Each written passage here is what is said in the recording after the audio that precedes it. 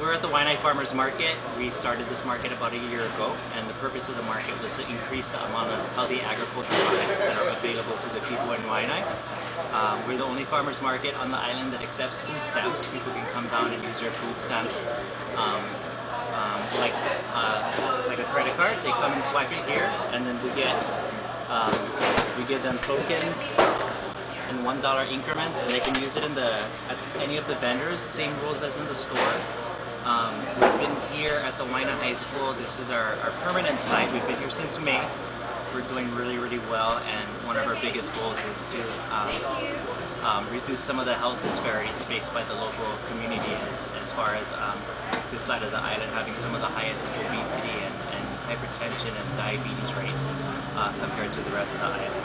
Um, we're also looking at starting a market in Kapolei. Hopefully by October we'll be expanding to our second site there. Um, and we'll still have all the same benefits there and hopefully address some of the same health um, issues that they might have on that side of the island. as well as increasing sustainability within our community. As well as increasing sustainability within our community. Um, one of the biggest problems a lot of our, our um, neighbors face is that because we're um, kind of at the end of a uh, one way in, one way out road, we get stuck a lot of time, a lot of times with accidents and stuff. So giving not only the community access to healthy food, but also some of the local farmers, giving them the opportunity to sell their products in Waianae without having to drive into the city and pay five dollars a gallon of gas. So thank you so much for coming.